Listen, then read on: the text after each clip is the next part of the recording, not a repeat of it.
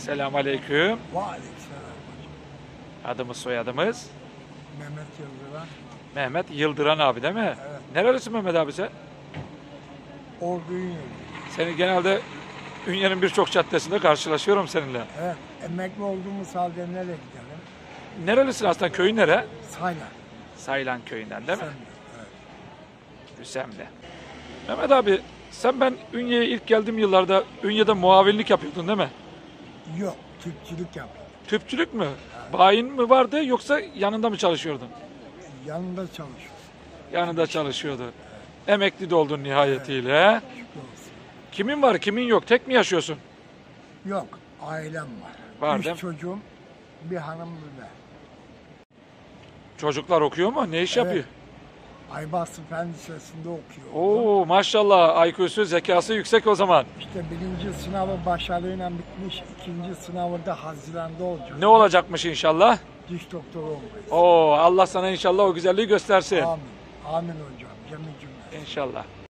Diğer evlatlar ne iş yapıyor? İki kızım var. Onlar da okuyor. Biri İmam Hatip Lisesi'nde. Değil mi? Diğeri de beşe gidiyor. Efendim? Beşe gidiyor. Beşe gidiyor. İlkokul beşe gidiyor. Beş. Yaşımız kaç şu anda? Şu anda tam elde. Kaç doğumlusu yani? 73. 73 Ana yaşım 72 de. Doğumda öyle. diyorsun. Genelde seni hep Ünye caddelerinde dertli dertli gezerken görüyorum. Bir problem, bir sıkıntı yok değil mi? Yok. Şükür olsun Allah'a. Ailen yaşıyor, berabersiniz. Evet. Yok. Annem babam öldü. Vefat etti. Öldü. Yenge yaşıyor, berabersiniz. Evet. Şükür olsun. Kirada mı oturuyorsun? Kendi evim. Kendi evindesin. Baba. Allah darlık sıkıntı göstermesin diyeyim o zaman. Var mı buradan bir diyeceğin? Sevenlerine, dostlarına. Allah'a emanet olun. Allah sizleri başımızdan eksik etmesin. Allah camimizi ezensiz, ezenlerimizi imamsız bırakmasın. Amin diyorum inşallah.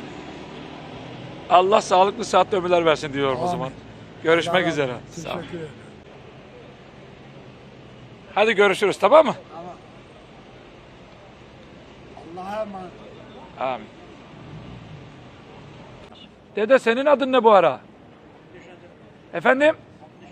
Hamdi Şentepe. Sana da sağlıklı sıhhatli ömürler diliyorum.